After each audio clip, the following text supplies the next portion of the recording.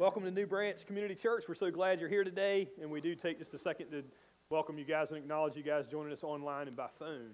We are in a series called Famous Last Words, and we're taking a look at the words of Jesus Christ on the cross, which are some of the most profound words ever spoken. Um, but they're not just profound, they're also very practical to our lives. And so today we're going to take a look at one of the statements he made. But before we do that, here's some famous last words that I've thought of that go, these are probably some of the ones that, that probably would be said before I would die. So, so anyway, we'll, we'll look at these. Um, here's the first one. Um, are you sure the power's off? That, that's kind of one that I've thought of to say, you know, you know, Marie, did you cut the power off? And we end up like this. And that's actually happened. So anyway, all right. So, and here's the second one. Um, a lot of us go hiking, and so I wonder where the mama bear is. And I've seen some people, they think they're so cute little bears. And uh, I don't know, has anybody ever went between a mama and its cub? No, because if you did that, you wouldn't be here, right? I mean, that's what happens. So, okay, so that's famous last words. All right, so here's another one um, for you guys in the military. You know, I pull the pin um, and uh, I count to what? Anybody? and uh, you don't want that kind of guy around you, right? I mean, yeah, no. Um, and then, and then for my redneck folks that are here, you can see if maybe this looks like one of your family reunions. Uh, these are some last words. Hold, hold my beer and watch this. Anybody said that one? and that was taken from one of our church members' family. You know, I'm just playing. Anybody relate to that one? you don't have to raise your hand. Okay. So, but all joking aside, one of the ones that's probably the saddest words that you could ever speak, which could be your last words, um, because it will define your life, is this: I will never forgive you for that. Um, anybody ever said that? Anybody ever thought that? Anybody there today and you go, don't mess with that because you don't know what you're getting into. And today we're, we're going to kind of mess with that a little bit because these could be last words and you don't want them to be. Um, we're going to take a look at what Jesus had to say about that from the cross. Um, it's amazing that Jesus, Jesus being an amazing communicator that he was, the fact of the matter is he communicated more from the cross than we could ever imagine. And um, not only with words, but with other things. But he also had the time and the, the amazing ability to communicate as he's being crucified, which I just find to be unbelievable. So today we're going to take a look at those words. If you want to turn with me in your Bibles or in your Bible apps, um, you can follow along with me on your, in your outline. We only have one of the verses, but you can go back and look this up. Luke chapter 23, verse 33. In fact, we'll put it up on the screen. It says this When they came to the place of the skull, they crucified him there, along with the criminals, one on his right and the other on his left. Um, last Sunday, we, we, um, we started to unpack what it meant for him to be crucified, and so I won't get into all the details of it today. Um, we are going to be watching The Passion of the Christ on Good Friday at 7 o'clock, so if you want to know what it looks like, um, Mel Gibson did an amazing job depicting the crucifixion. But unless you were there, you don't know what it's like. Unless you're the one being crucified, you definitely don't know what it's like, and the experience is unbelievable. Um, they said they beat him where he didn't even look like a man. The Romans were extraordinarily brutal. And they did it with a purpose to go, if you're a criminal, you never want to commit a crime against Rome because this is what will happen to you. And they put you on display. So they got the most brutal people you can think of to do this. They had no qualms with that. And the fact of the matter that he's crucified with one on his right and one on his left um, just means this is another day in their life. You get it? He's just one in a number of people they're crucifying. It didn't mean anything to them, and it didn't. Um, he was crucified. His, his crime was blasphemy against God, meaning that he claimed to be God. Um, and that was against Jewish law. He did not commit a crime. He was God, so he didn't commit a crime. But even then, they probably wouldn't have crucified you for that. But, but, but, the, but the religious rulers of that day really set him up. So he had been insulted that day. They said they beat him so bad he didn't look like a man, and now he's being crucified. And his first words on the cross, I want you to pay attention to. These were the first words that he uttered on the cross. Verse 34 Jesus said, Father, forgive them, for they do not know what they are doing. And they divided up his clothes by casting lots. So his first words on the cross, he, he said, Father, forgive them. Um, really amazing that he had the wherewithal to say that. Uh, most of us might not be thinking that when it comes to this occasion. The other thing I want to point out was after all that had happened and all that was happening, meaning, meaning he says that to them, for they know not what they do, and they keep going as if nothing's happening. In fact, they're so bored, they're casting lots, which means they're playing dice or they're gambling for his clothes.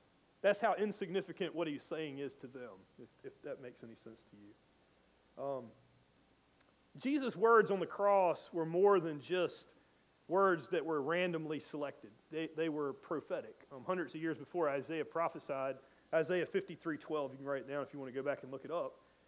He says about Christ, he says, For he bore the sins of many and made intercession for their transgressors. Um, I don't know that Isaiah even understood the depth of what he was writing, um, as many of the prophets didn't. I don't think anyone would have realized that Christ would be making intercession for us on the cross itself. Um, but yet he was. That was more of a prayer. Father, forgive them. Father, forgive them. Now, I want to pause there because I think there's some practical application to our lives in, in, this, in this statement. Because I got to tell you, while it sounds so spiritual and I appreciate what Jesus did, that's not how I feel when somebody does wrong to me. Is it you? My first response typically isn't, Father, forgive them. If I was Jesus on the cross, you know, I'm dying for the sins of the world, but as soon as you insulted me, get it? you know, the beating and all that stuff, you get it. But but the insults and you talking down and the people coming around and talking bad and you're still casting lots and now I'm looking down at you going, do I really want to die for that? Uh, I'd be more like, Father, you know, kill them, right? We think that, Father, I want to see the days of Elijah, call down fire from heaven, incinerate everybody on this hill, and I'll be justified, and that's how I feel. If we're real honest, is that how we feel sometimes? And if we're real honest, that's how we, a lot of us would struggle with forgiveness, right? As they're crucifying you, you didn't do anything wrong. I don't, I don't feel like forgiving. And, and, and I want you to think about it from your perspective because you might be saying, well, man, that sounds almost sacrilegious until we start looking at our own lives and you go, do you struggle with forgiving? When someone insults you, or maybe they have, are you struggling with forgiving people in your life? Um, are you struggling letting some of that go? Or you try to let it go? Maybe, maybe that's where you're at today, as I'd been for years, to say, oh, no, no, I've let that go. I got on my face before God and I've let that go. Or, or I tried and I've let that go. I forgot all about that. It doesn't bother me anymore, yet it's defining you. And you kind of know it. You go, that thing behind it, and there's anger outbursts, and there's all these things that happen, and you're going, I don't know where that comes from. And today we want to kind of look at it because Jesus Christ was making intercession for us. And he taught his Father, forgive them. It, before Christ, our response, and probably the response of most of the world, will be this. If you do me wrong, here's what it is. You owe me. You can write it down if you want to. Um, you owe me. Justice is mine. Anybody feel that way? Because I'm right. I mean, if I'm right and you're wrong, I have every right to hold you to this. And that's true. In fact, doesn't even the Bible teach that? We'll, we'll take a look at the scripture. In fact, Jesus taught it himself. Matthew chapter 5, verse 38, he said this You have heard that it was said. Why did they hear that it was said? Let me tell you why they heard it was said. Because it's Old Testament. This is the law. You have heard it said, an eye for an eye and a tooth for a tooth. Meaning, if you gouge out my eye, I'll gouge out yours, right? If you hit me, I'll hit you. Anybody taught that when they were a kid? I'm not going to start it, but I will definitely finish it. Anybody feel that way? I'll get you back. You know, if you know, I'm, that's just the way it's got to be. You know, I'll, I'll make you pay. I'm not going to let you, I'm not a doormat. I'm not going to get walked over. I'm not going to let this stuff happen to me. I was innocent and you did that to me and I won't forget and I'm not, you know, I'll never forgive you for that. You get the idea? A tooth for a tooth. It's the way it's got to be. That's justice. And in one way, that's correct. But there's something that we have to explore today that is so huge in our Christian life that we, we focus a lot on one side of this issue but not as much on the other side. And today I want to kind of unpack it a little bit, and hopefully in the days to come we can unpack it more. And that is this issue of forgiveness. Because forgiveness is a, is a two headed coin. Um, we, we like to talk a lot in the church about forgiveness as it relates to us receiving forgiveness. And I believe that with all my heart. And if you're here today and you go, I have so much guilt, you can be forgiven. And God wants to forgive you. But can I tell you what's equal to that? Is the other side of the coin that we have to forgive. That, that forgiveness is something that you receive, but it's also something that you have to give. Um, and, and you might want to think about that for a while because the two go hand in hand. In fact, I don't know that you can really have the forgiveness that God offers and withhold forgiving other people. Um, I, I'm not the only one that taught that. In fact, the after Christ response is this. Once you know Christ, once you follow Christ, the after Christ response is this God forgave me, so I'll forgive you. I can put it a little more bold. God forgave me, and I have to forgive you. I cannot hold on to it and follow him at the same time. Jesus taught it when he taught us to pray. Jesus raised forgiveness to a whole new level, saying, I will forgive you, but you must forgive others. And if you don't, you're not following. Um, I, I, didn't make this up. I, I, wish I could read it differently. I've tried to read it differently. I spent a decade of my life reading it differently, trust me. But Matthew chapter 6, verse 12, when he taught him to pray, he ends it with this, and he says, And forgive us our debts as we for, have forgiven our debtors. That you can't be right with me and hold on to unforgiveness. Forgive is a, is a financial term. It means to pardon, it means to forgive a debt, it means to cancel out a debt. Jesus taught this in another place, and we're going to take a look at a parable that he taught.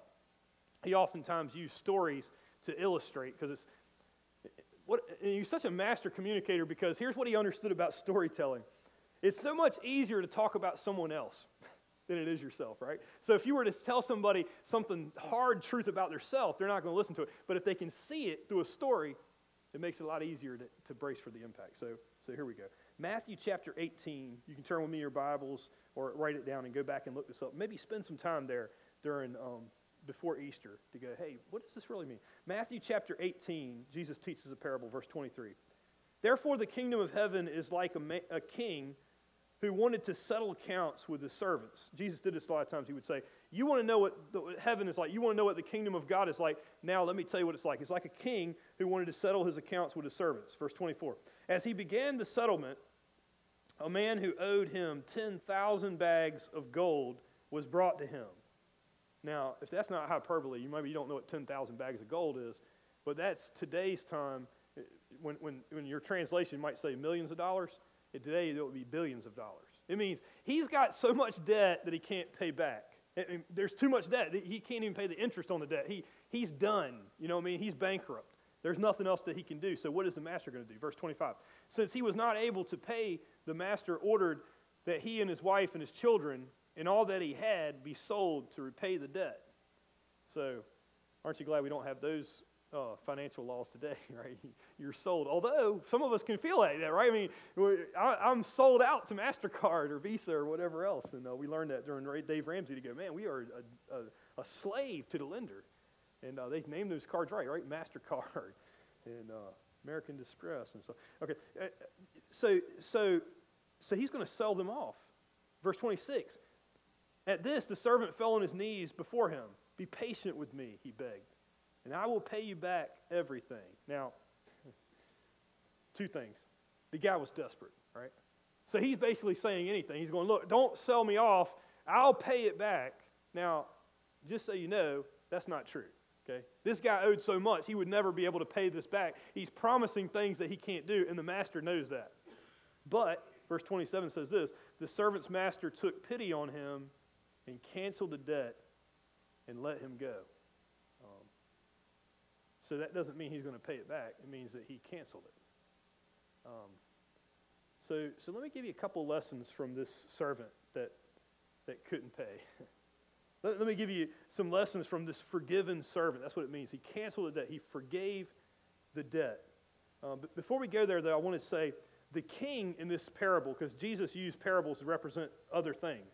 So the king in this story represents God, and the servant in this story represents us. And here's what it says it says the, the lesson from, from the servant is this that the debtor can't always repay you. Okay? Sometimes the debtor, like in this guy's case, he owed so much that he could never repay what was owed. There's things you can do in life that, that you can't pay back. Does that, does that make sense? Some things in life can't be undone. Is that right? And we studied a little bit of that in the book of James. Sometimes you can say things and you can't take them back. Now, you can be sorry for them, but you literally can't take them back. So, we're not just talking about money, um, although money is part of it, right? Sometimes we can charge up so much money and owe people so much money, we'll never be able to pay it back.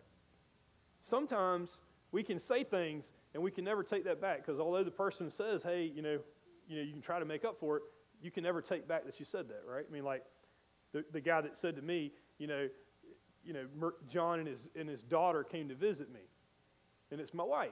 I mean, you can never take back that hurtful statement. As long as I live, I'll be hurt by that. Especially by my wife that continues to remind me over and over and over again. You remember when that happened? Remember how you. Get a few gray hairs and that's what happens, whatever. Um, some things you can do, you can't take them back, right? Some things, some things you can do to a person, and you're going, you can't take back that you did that. Some hurts you do to somebody, and you go, that, you know, it, you can't just forget about that. It's just not easy to get, get past it.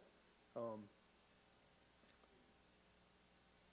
some things can't be undone. Sometimes the debtor can't repay you. That's just the way it is. Number two, we learn this the offender can always show mercy. The offender can always show mercy. Now, there's a lot of people that would go, you know what, I feel like this, and I don't have a choice. I don't have a choice how I feel. No, you don't have a choice how you feel necessarily. You do have a choice what you do, right? And if you're the offended, you can always show mercy. Said that in verse 27 that I read. The servant's master took pity on him, and he canceled the debt and let him go. Um, just a side note on this one. Some of us, the hardest thing in the world about forgiving somebody is this is that what if the offender's not sorry? What if the offender doesn't even know they offended you? You, you know what I'm talking about? Uh, you know, like when the coach benches your kid and you go, man, I've been coming to these practices, I've been doing all this stuff, and now we come to the game and my kid don't get to play. What's up with that? You know, it's just all politics in this thing, and they don't even care, and they don't even know, right? And you go to them, and I, have had this happen to me a lot of times where somebody comes and says, when you said that, you don't know what that did to me. I have been holding on to that for 20 years, and I'm like, what is your name again? I'm just, you know, you hate to say that, right? And that's even worse. You know, it's like, I don't remember that ever happening. I'm so sorry. I don't know what state of mind I was in. Who knows what that was about? But they held on to that. Or maybe they misunderstood something for years, right? But you know, and it makes it even worse, right? Or, or maybe this one. You did something great for somebody, and then they weren't grateful. Anybody have teenagers? I forgot my son was in first service, and so I was like, he's like, Dad. I'm like, oh man, he's right here. And uh, but isn't that true? Your teenagers, they don't, they're not always grateful for what you did, and you do all this stuff, and, and, and, and you can already hear it coming out of you, right? After all I've done. You ever felt like that? And you want to start telling them all the stuff you do, and it doesn't do any good, right? You know what's worse than that? You, let's say you're sitting in a big meeting and they're getting ready to thank the person, they're getting ready to thank, and you, and you know it's you because you're like, I've done all this work, I've pulled this whole thing off, and everybody's here, and now they're getting ready to thank somebody, and they get up and they say, We'd like to thank, but it's not you, right? And it's somebody else that did less than you, and you're like, hmm, you know what's worse than not being thanked? Someone else getting thanked instead of you, right? Anybody holding on? I know, I can see you guys looking all religious today, like, hmm, no, we don't feel that way. and I know you do. You know how I know? Because I've heard you.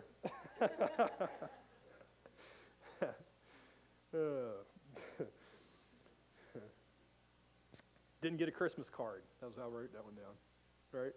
And some of, some of you might feel that way about our family. I just wanted to let the edge off. We ain't sent a Christmas card out to anyone for years. we just don't send Christmas cards. so if you sent one to us, and if that makes you mad, take me off your list. It's okay.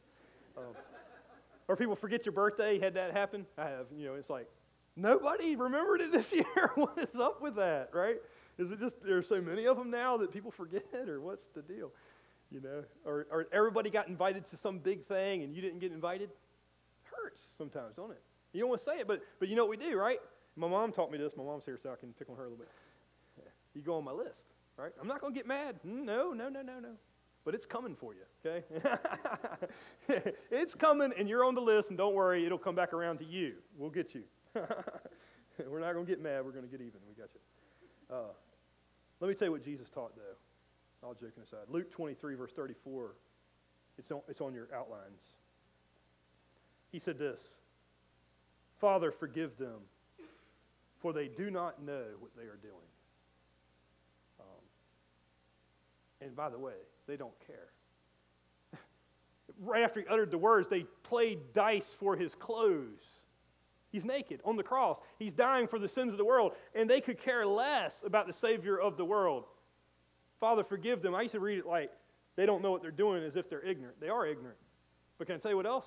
They're ambivalent. They, don't, they could care less about your hurts and your pains.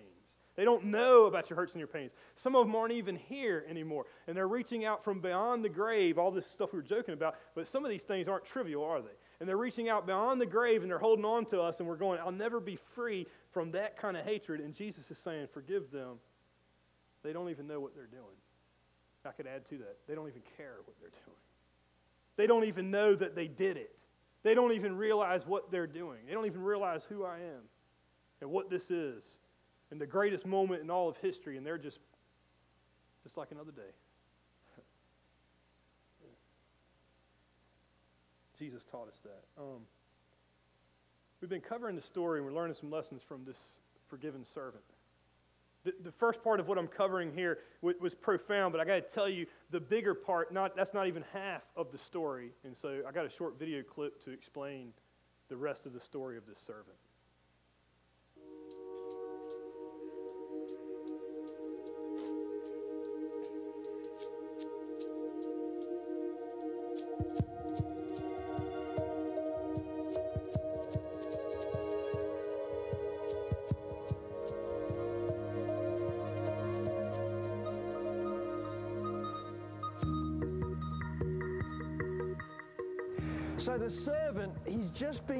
Forgiven this tremendous debt. We're talking millions of dollars. He's just, I'm free, man. I got no debt. Could you imagine not having a mortgage payment, not having a car payment, everything paid off free and clear? The guy is like, I am a free man, no debt, no worries. And he comes out and he comes across a servant and this servant owed him a $1,000 and he grabs him by the neck and starts choking him, demanding payment. I mean, what is up with that? And the guy couldn't pay, so he had him thrown into prison.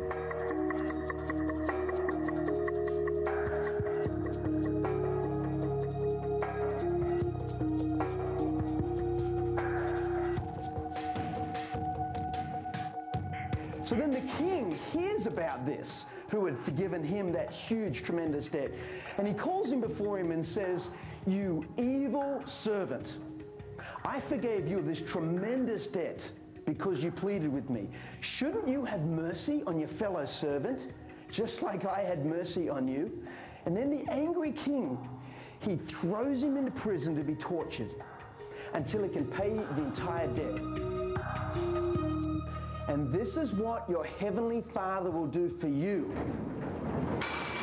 if you refuse to forgive your brothers and sisters from your heart.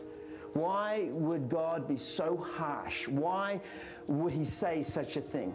I believe it's because God knows that unforgiveness puts you in a prison. Unforgiveness is like sipping poison expecting the other person to die. Unforgiveness puts you in a prison. So let me ask you: Are you are you in a prison today? Have you been drinking the poison? Are, are you, do you have do you have someone that you haven't forgiven? Anybody? I mean, if you were really to go deep down inside and you go, I, I don't even know that it's there. Maybe maybe you're thinking like most people that that forgiveness benefits that person that I'm going to forgive. And, and what we've missed out on the, on the whole issue of forgiveness is, is that you don't understand what forgiveness can do for you. When you hold on to it, you might think you're making them pay, but you're making yourself pay even more. Most miserable time of my entire life. And by the way, I'm only a fraction of a second from being right back there. Is holding on to unforgiveness. To, to hold on to that grudge, to hold on to that thing that you got. I'll never let go of that. You can't ask me to let go of that. You might forgive them, God, but I'll never forgive that. and I got to tell you, it'll crush you, it'll crush your soul. And the benefit and the release that I have discovered in releasing that hatred to God is more than anything I can ever tell you. Um, I, I, don't know how it is for everybody else. It was more than the release of guilt the day you learn to release because you feel so justified, right? Because it's just. They're wrong, and I can't let that go. They owe me. And they owe me a debt, just like this guy. They owe a debt that they cannot repay.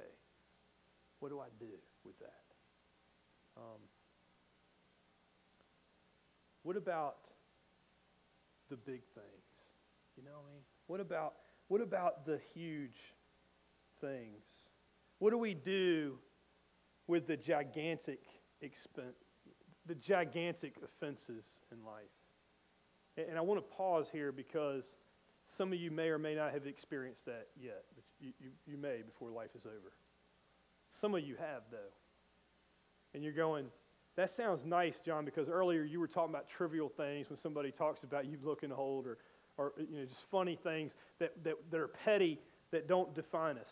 But what about the huge things that define a life that no one can talk about? What do we do with that? How do we get beyond that? What do we do when someone has abused you? You know what I mean? Someone has hurt you so deeply. Someone has said something that has defined your life because they said it over and over and over, and I'll never be free from that, and you've tried. You know what I'm talking about? Or it's they chose alcohol over me, they chose drugs over me. And they say they're sorry, but I got to tell you, it doesn't fix what happened to me. It doesn't fix the abuse that happened when they were under the influence and they beat my mother, or maybe you were the mother that was abused, or you, or you, you get the picture. And you're going, you just want me to let that go. You just want me to forget that. You just want me to, what do I, what do, I do? What do I do with offenses like that? What do I do with the ones, you mentioned a few here, John. You have no idea the offense that I have today. You talk about your petty little things you have, John, but you have no earthly clue what's going on inside of me. You don't know. And I don't, but God does. And what I want to tell you today, in the most loving way that I possibly can, is this is that Jesus' love is greater than any offense that you have. That Jesus Christ's love is greater than any offense that you have. He can release you from that. He can release you from that prison that you're holding so tight on. That he can hold you from having to drink that poison every day of your life. You can have a different life with joy instead of hatred. Let me give you a couple verses. The end of that servant's lesson was this. The master told him what? Matthew chapter 18, verse 33. He said, Shouldn't you have had mercy on your fellow servants just as I had on you? So, so, if you're struggling with that big offense, God is saying, The reason you can forgive is because I have forgiven you. Fact, he goes further to say it this way. Matthew chapter 6, verse 14, this is a different passage where Jesus is teaching on the area of forgiveness. And he says, For if you forgive other people when they sin against you, your heavenly Father will also forgive you. But if you do not forgive others their sins, your Father will not forgive your sins. I got to tell you, for me, that was one of the hardest principles in all of the Bible. I hated that. because for years I go, I've been taught all of my life, I've been taught from the scriptures, and the plain reading of the text simply says this is that salvation is by God's grace alone. So, how on earth do you say it's hinged on me forgiving another person? Does that mean I have to do something to gain it? No. It means after you've received the forgiveness that only God can give, there's no possible way you could withhold forgiveness from another person. When you have experienced Christ, you cannot withhold forgiveness. It's not possible. It's not possible to withhold forgiveness when you know Him. The hardest words in, in, the whole world was this forgiveness is a choice. Because many of us feel like because it happened, I don't have a choice in this because somebody's hurt you so bad, I don't have a choice. I didn't have a choice in what happened, and now I don't have a choice. I can never let that go, but you can through Him, through the power of the cross of Jesus Christ. Now, I want to, I want to say what I'm saying is not simple, and I know that. Um, I hope you're not taking it like I'm thinking this is a simple thing. I, I, and I think some people are going to struggle with what I say next, but but you won't if, if you're the one struggling because you'll get it. I believe with all my heart that God can help you forgive. I believe that it's a process. I don't believe for everybody it's going to be just today you're going to come down here and it's all going to be gone and you're never going to struggle with that again. maybe you've been taught that. And maybe that's the reason why when I talk about this, you think I'm teaching easy believism as if just give that up and now it doesn't define your life anymore. There's no more scars, there's no more pain, there's no more feelings. And you go, I've tried all that. I've tried to forget that it ever happened. Anybody ever felt that way? The, the other thing before I get too far, because I, I don't want to forget this part. If you're in an abusive relationship, I'm not saying go back into it, okay? Please don't take this wrong. Please don't think that God means forgive their debt and then go back and keep living in that abuse. It's never, there's never an excuse for abuse. There's never an excuse for allowing people to abuse you. But when you're in a safe place, and some of us are, and we still don't feel safe, they're dead and gone, but yet they're reaching out from beyond the grave and controlling your life. They have more control over you today than any other person. You don't understand what change you have on you when you don't forgive. And God doesn't want you to live that way. You see, maybe you're thinking I'm saying, well, then just forget that stuff. And you know, that's the problem with the church. You, you know, we, we, we've been teaching one principle so incorrect, and it's so hurtful that some people won't walk through the doors, and that's just forget that happened. Just act like it didn't exist. The, the amount of sexual abuse that we say, just let it go. You're supposed to forgive and act like it never happened. That's not true, by the way. And it, by the way, it doesn't work, does it? Some of us know it doesn't work. You can't forget. And well, didn't God say He forgets as far as the east is from the west? Yes, He did. As if it never occurred? Yes, He does. But can I tell you what He's doing? It's not that God has amnesia. Okay? Jesus don't look at the cross, the marks on his hand. I've thought about this a long time. He's never looked at the marks on his hand and go, I don't know how I got this. He didn't erase his memory. That's not what forgetting means. It means he redefined what it means. He got to redefine his life. He got to reposition who he was. He got to give you a new life in Christ. And can I tell you that we love, we understand what it means when we talk about guilt and we receive a new life in Jesus Christ, right? It's true. And we do. But can I tell you what's equal, the other side of the coin? The day you're able to forgive is the same occurrence, if not even more, the day you can forgive. Because when you don't forgive, let me tell you what happens. You're a prisoner. So I'm not asking you to forget today. You know what I'm asking you to do? Remember. How can you forgive what you forgot, right? I mean, it's impossible. Don't just forget about it, forgive it. And for some of us, we've been putting on a mask too long. Some of us, the most religious people in the room, the most ones, I've let that go years ago. That doesn't bother me anymore. Yet you're seeing that outburst of anger come out of you over and over and over. And you're going, where does that come from? Why do I do this? How is this happening? Can I tell you? You never forgave. And when I hit that button, I can tell you what it's going to do when you actually get there.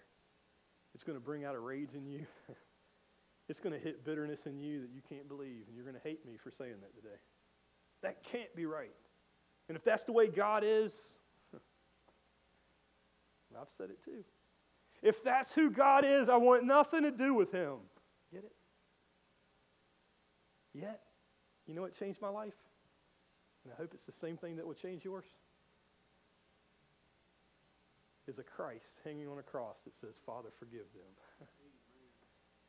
you see, and I would think, you say you won't forgive me because I didn't forgive them and I never did anything like them. That's what I thought.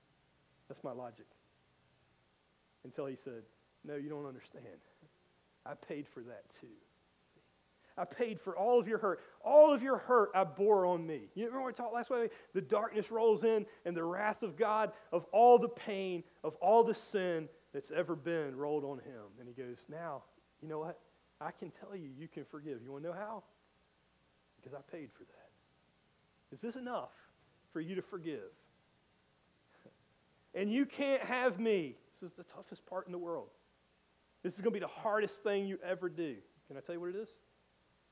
To make a choice between your hate and Jesus Christ because you can't have both. Can I tell you something? Your hate's going to make you miserable. I, I, don't pretend to know what you've been through. All I can tell you is this, is your hate will make you the most miserable person on the planet. But Jesus, he will fill you with love that you cannot even imagine. And I know because I've experienced it. And, and here's what I want you to know. It doesn't end today. This process of forgiveness doesn't end today for the big things. Okay? If you think it does, some of us are deluding ourselves. I went down in a conference, I gave it up, and I come back by Sunday night, right?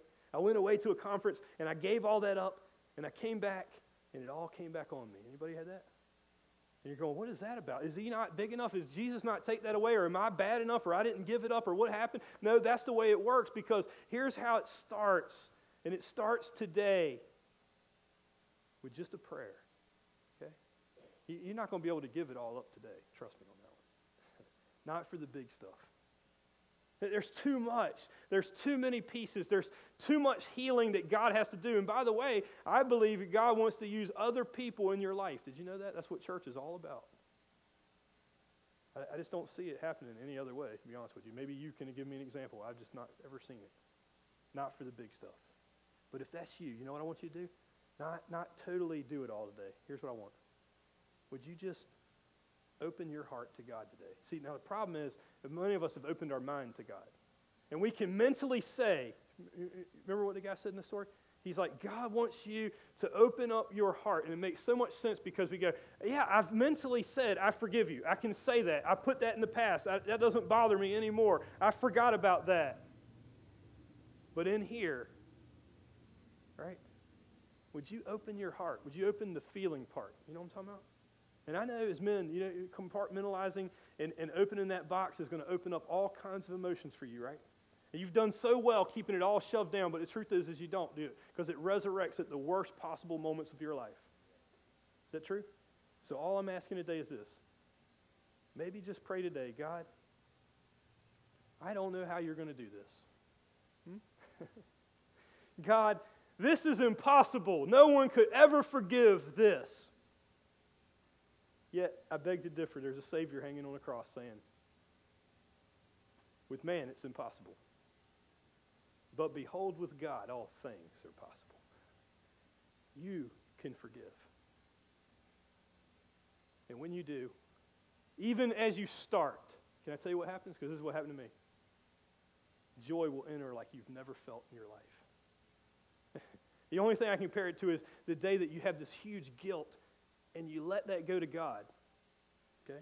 If you're here today and you're the guilty one, maybe you need to let that go to God. It works both ways. But let me tell you something. You know what's better than getting the guilt off of you? The day you learn to forgive. There is nothing. you don't even realize how miserable you were until He fills your heart in a way that you cannot describe. That's what I pray for you today. It starts with a prayer. Let's pray together. Can we stand? Father, I pray over each person here today. I pray for each person that's listening. Some, some people listening online, they go, I can't even enter the doors of a church because bad things happen to me in church. God forbid, but it's happened. If we were real honest, because we are liars. Because the church has become a bunch of liars. We cover up abuse. We cover up sexual abuse. We don't want to be honest with the way things really are. But today we want to be honest. I pray for the one God that's guilty that today you help them understand they can receive forgiveness in Christ. That's all of us. I pray for the one God that's withholding forgiveness. Oh, that's all of us. I pray today, God, that we can forgive and that we won't go back, that, Lord, will allow you to fill us that we'll, we'll look at the cross for the first time and realize, you know how I can forgive? Because Jesus did that. and because there's a Savior that poured out his blood and the wrath of God poured out on him so that I can forgive. And I can finally not have to be miserable.